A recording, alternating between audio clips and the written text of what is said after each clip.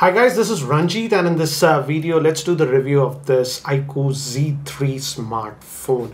And uh, this is the most affordable smartphone by iQOO. And guys, some of you have complained that I didn't review earlier the iQOO 7 and stuff like that. The reason for that was that during that time frame, we got a lot more popular smartphones. And guys, you know, uh, for my full reviews, it takes a lot of time because I actually test them and use it in daily life. That's why uh, at that time, the OnePlus 9R, the regular OnePlus 9 Pro came so i was testing that. And even the mi 11x came. So during that time i didn't get the time to test out the iQOO 7 uh, but now i have actually used this iQOO z3 and uh, the base variant of this one is uh, being sold for 20000 that's with 6 gigabytes of ram. And now i've used it. So let me uh, tell you is this the right smartphone for you? And what are the good things about this smartphone? And what are the some of the annoying things that i have noticed about this one? And trust me guys there's some things are really annoying about this one. And i hope uh, iQOO takes this as feedback and improves it in their future smartphone so let's uh, get into that. And guys i won't get into the physical aspects and other specs. Here are the quick specs for your reference. But again watch my unboxing video if you want to get a general overview. I'll leave the link in the description and also the card. So let's break it down between pros and cons. First let's talk about the pros. What did i like? And then we'll move to the things that i did not like. And the first thing is i like the screen. It's a 6.58 inch screen. So i like the size guys. Uh, it's not a massive 6.8 so yes it's still a big phone but not super super big. And i like the fact that it's a 120 hertz screen. Hence uh, the scrolling on this one is actually really smooth. As you can see even with this economic times it's a pretty heavy side. If you notice the scrolling is very smooth. Uh, it has that 120 hertz and the processor is able to handle that 120 hertz. So you don't get those jitters and stuff like uh, we get in some of the mid-range smartphones that have high high refresh rate. So in that way, if you see the UI is very fluid on this. The screen quality is a decent one. It's an IPS LCD screen. I wish it was an AMOLED screen. Uh, overall, it's a nice screen, but the con is that uh, indoors, it's perfectly uh, fine, I would say. But in outdoors, I felt when it was direct sunlight was there, the screen could have been brighter. It's not like it's not visible at all, but I wished it was brighter. Okay let's move to the next thing and uh, uh, that is regarding the processor on this one. Uh, this one has the snapdragon 768 and in fact this is the first smartphone in india that is coming with the snapdragon 768 uh, and i have to say the performance of this smartphone is actually really good. It handles this 120 hertz refresh rate without any issues. As you can see the ui is very smooth. So in terms of performance definitely this processor is far better than the snapdragon 750 uh, and other mid-range processors that we are seeing. So that way it's a good processor. And also I ran some uh, benchmarks, for example, Antutu and stuff. Uh, uh, uh, this is Antutu. And uh, let me, yeah, as you can see, very respectable scores, 4 lakh 53,000 that we are getting on this one. So that means overall performance of the smartphone is actually pretty good for a mid-range smartphone. I, in fact, I had also ran, what do you call, a Geekbench. I saved the benchmarks. So these are some of the uh, image uh, snaps. I'll show you that later, but let me show you the Geekbench benchmarks. And as you can see, for single core, we got a very healthy score of 724. And for multi-core, we got a score of 2046. So what does this all mean? It's a good processor and in day-to-day -day activities, uh, multitasking, moving between the apps and stuff, no issues of lag that you will notice on this phone. As you can see, even this is 120 hertz. I did all my testing at 120 hertz, guys, not in the lower refresh rate. Then also, I did not face any UI jankiness or lagginess on this phone. And I like that. Now on the left, if you go, this is again that FunTouch uh, UI uh, which we generally get with the uh, Vivo phones. It's the same thing but they have improved it a little bit. On left if you go you get the Google pane and that works as you can see. They tried to mimic now closer to stock Android in terms of UI as you can see but there are some very annoying things about this UI I'll talk about that in the later part. That is in the con section. Okay let's move to the next good thing that I liked about this smartphone and that is regarding the call quality on this one and the network reception. I tested this one in Hyderabad city where I live uh, with the Jio SIM and my primary that is Airtel SIM and with both I did not have a problem with the smartphone. In fact the call quality was actually pretty good with the smartphone and even the earpiece is actually good on this one. So in terms of call quality, no issues. In fact, another great thing that I liked about this smartphone, and this is a practical thing, as I've told you, I like to do practical testing, not just bench based on numbers. The proximity sensor uh, is also calibrated very well on this smartphone and I did not have any issues while even taking long calls. So for calls, I did not have a issue with this smartphone. That way, they have done actually a good job. Uh, now moving to uh, another thing is this is a small thing that I noticed and I feel the haptic feedback uh, vibration motor calibration also is done fairly well on this one. Yes, don't compare it to flagships or something that'll be stupid, but uh, for a mid-range smartphone, I feel the haptics are decent on this smartphone. Uh, okay, next uh, thing that I liked is the fingerprint. Again, this is a common thing that I've noticed with almost every smartphone that has this side-mounted fingerprint scanner. As you can see, it works instantly. It's a power button come a fingerprint scanner. And here also, uh, it's the same thing as you can see, very reliable. So don't have to worry. You can just keep your finger also, it unlocks, or you can just do this press action also, then also it works. So very reliable fingerprint scanner, but this is uh, nothing unique. Almost every smartphone that I've used with the side-mounted fingerprint scanner uh, works very well. Same case even uh, with this one.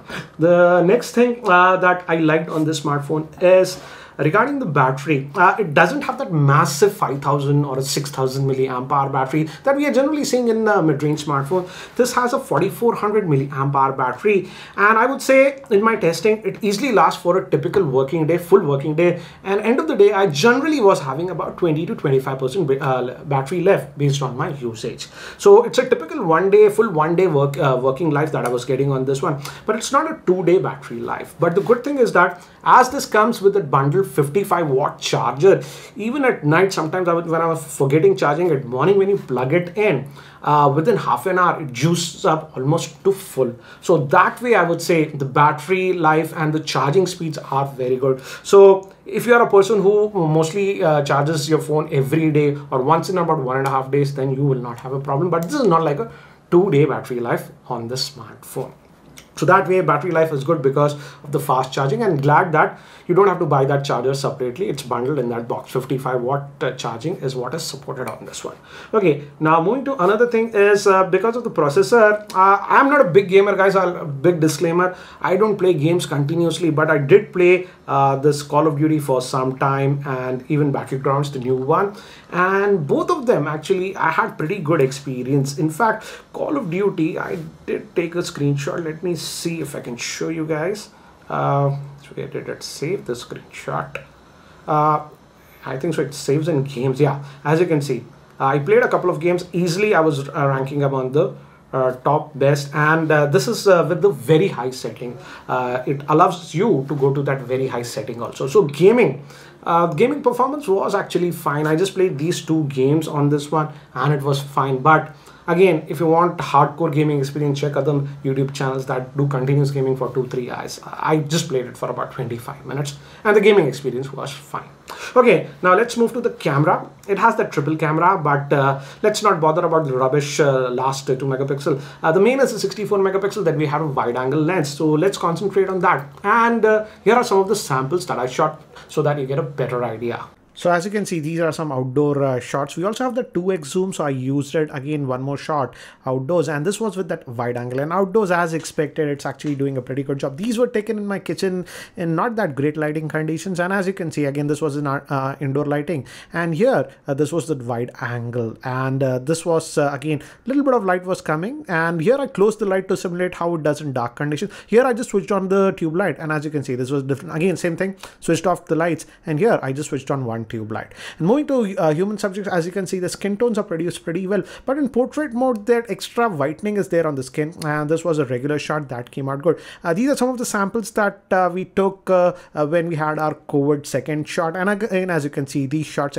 came out good. These were taken in artificial lighting in my office. Again, as you can see, these were good. This was the regular shot with the front facing 16 megapixel camera. And the front facing camera, as you can see, is doing actually a pretty good job. These were taken in artificial indoor lighting conditions. But here I enable the portrait mode and again notice that whitening on the face. This was regular shot. Again that portrait mode and in portrait mode it whitens up your skin. So definitely I would say the camera performance is also very good. Uh, outdoors, yes, almost every smartphone does a good job outdoors, but this one, even in indoor lighting, artificial lighting conditions, I felt the camera did a good job. Yes, in portrait mode, it tries to beautify you too much or lighten your skin, uh, skin a little bit more, I would say. So you got to be careful about it and just tone down all the settings. By default, it is very, very aggressive. But overall, I would say uh, the camera performance was pretty good. Uh, I feel, I hope in portrait that extra skin whitening that they're doing, they tone it down. Now let's move to uh, some of the cons that I have noticed on this one and pay attention to this one guys. And the first thing that I do not like is uh, the back is plastic guys. Don't expect glass or anything. I'm, I'm not complaining about that. But if you notice this one, uh, this is a sort of a fingerprint magnet guys. Uh, they should have used a different kind of a coating. So if you use it with the case it is going to become dirty within 10 minutes of usage. So that is something that I have noticed. But fortunately still this is resisting what you say uh, scratches I've used it normally with the keys inside my pocket and just putting the phone like this and still I didn't get scratches. But again this is a fingerprint magnet. They could have used a matte finish that would have looked actually even better I would say. Anyways uh, moving to the next thing I really miss on the smartphone is uh, yes this one has a 3.5mm headphone jack and I'm glad about that because these days many of the phones are omitting uh, that also. So we have that. But we don't have a stereo speaker. So that is something that I am missing. And particularly when I was playing games, these uh, online uh, games, uh, when you have stereo speakers, you just come to know enemies coming from this side or that side. So I miss that on this one. Uh, so yeah, they should have given a stereo speakers because the base variant is about 20,000 so that is something that I miss. Uh, next thing now let's come to the annoyance that I have with the smartphone and that is based on software and some of the idiotic things that they have done. For example okay first as you saw this is nice uh, almost stock uh, like Android experience you're giving you're giving an app tray and all this thing but notice what if I just swipe like this this is a search you have to agree for all this bullshit and that is really really annoying. Okay i'm not going to do this because it's just scary the amount of stuff that and you open the app tray and with any android phone you have the search app because we have too many apps just finding scrolling scrolling it can take time right? Here if you just press the search again you have to agree to all this crap. I don't get it why. Who designed this? Why does a person have to agree to all this to do even a basic search? So i feel iQOO takes this into uh, consideration. Come on, man, you just can't shove.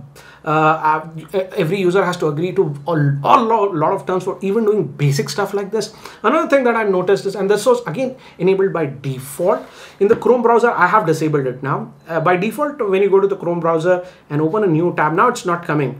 Here again, it adds a lot of junk on this Google homepage and uh, why how it does that is go to the settings. If you go to the settings and uh, here you have the home page. I've switched it off. This is actually switched on. And as you can see it is going specifically to a uh, Vivo homepage which is filled with junk. So when you get this phone just disable that. And apart from that uh, I was also getting some unnecessary notifications here in the phone by default. And I've actually made a separate folder for all the junk uh, that we had so let's have a look. For example if you go to this extra junk by default this uh, browser is enabled. This is a built-in browser. This is not with just this phone even realme etc they have a browser app. This will send you unnecessary notifications so you have to disable it. Those unnecessary notifications also this v app store which is again a own app store by vivo is also installed so again you have to disable notifications even from that one themes so these are the junk apps that are pre-installed and they'll send you notifications. So you have to manually disable them. And again, there's a bunch load of junk that is available called hot apps. Again, you have to agree. Please don't do that. Please don't agree to that. And another thing is this hot games. Again, this is indirectly forcing you to actually use their app store. So I'm not using it that, but it is kind of forcing you. So again, these are some of the things that you have to disable on the smartphone before using it. And I have done it and now I haven't seen any unnecessary stuff over here, but I it still irks me. I don't know why. This search for basic Android apps search, you have to agree to this thing. It's stupid. I hope they just tone this rubbish down. So apart from that, again, the performance of the phone was good, but some of these things are default enabled uh, and while setting up the phone also it doesn't give you the choices to disable it so uh, really needs to look at their uh, Android setup uh, process when you're first setting up the phone and they should give the users choice to disable all this by default all this junk is enabled so that's my biggest issue with the smartphone. Okay, anyways, now uh, let's move to another thing is, and this is for hardcore users, guys. Uh, this uh, smartphone, as of now, I don't know if it changed, the bootloader is sort of locked. So people who like to install custom ROMs and stuff, you are out of luck as of now. I know many uh, people who buy Xiaomi phones because they like the hardware, but they don't like MIUI. And on Xiaomi phones, you can easily install custom ROMs. But as of now, because they're blocking that bootloader unlocking, that is sort of a tricky issue on this one. So if you're a hardcore user, you have to be aware of that. I hope, I hope iQOO opens it up because if they do that, it'll open up a lot of people because the hardware is good. If they don't want to use this software, the FunTouch UI, uh, they can do that. But as of now, it's a little bit on the uh, tricky side. Uh, next thing is uh, regarding the OTA updates. Uh, don't get me wrong, uh, they have said that this phone will get two next two years of Android updates. right now, it's on Android 11 and uh, in fact oh auto brightness i've enabled sorry and in fact uh, if uh, we go it's on android 11 that's not a problem if i go to about the phone as you can see android 11 is there out of the box. That's not a problem with this one. Uh, but um, i don't know about uh, the security update situation how quickly will they be releasing the security updates? As you can see the android security update right now is just may 1st i was hoping that this smartphone will get a new OTA update because I wanted to test if they add more junk or stuff with OTA updates like what Samsung is doing in the M series. But still I did not get any update so I don't know about that. I hope they don't add junk with OTA updates. So guys uh, this was my review of uh, this uh, uh what do you say iQOO Z3 smartphone. Overall actually it's a decent good smartphone. The hardware point the price to hardware uh, performance is actually pretty good on this one. But again those software niggling issues are there. In fact I wrote a summary about this one so let me just read it. And um, this is what I felt after using uh, this smartphone. Basically it's a Vivo smartphone with a bit uh, more bloatware to offset the cost so if you can uninstall and remove the bloatware, the price to performance is actually pretty good on the smartphone and the camera performance was also pretty good. But they should provide better setup options and by default a lot of crapware nagware settings are enabled by default as I've showed you. And asking for a bunch of permission for the basic search of app within the app tree is ridiculous. So guys, uh, that was my review of this one. And I was also checking Amazon India. Again, guys, it's available on Amazon India. I'll leave the link if you're buying. Use my link. It does help the channel. I saw the user ratings. The user ratings of this one is actually pretty good. It's above 4 star. In fact, it's 4.3 star. So I think so. Many users are actually liking it.